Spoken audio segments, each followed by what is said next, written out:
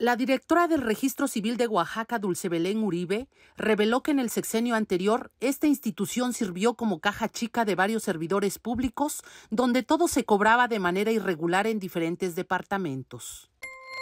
Dejó de tener sus funciones como institución a convertirse en una caja chica de, del gobierno, de muchos servidores públicos, y la vieron como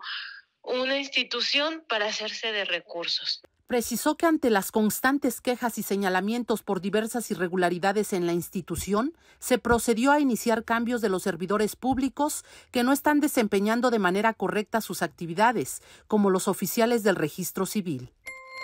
Aproximadamente ahorita ya llevamos lo que son este unos eh,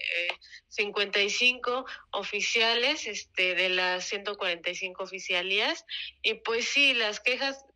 que nos da la ciudadanía principalmente es los llamados trámites urgentes o los cobros indebidos. Al mismo tiempo del cambio de oficiales del registro civil, la directora dio instrucciones de mostrar a la vista del usuario el tabulador de los trámites y servicios que otorga la institución, del cual en el sexenio anterior no se daba a conocer de manera visible. También se lleva a cabo una campaña para que se conozcan los costos y los tipos de trámites en la dependencia, así como los movimientos que se requiere llevarse en cada uno. Mega Noticias, Yamilet Carranza.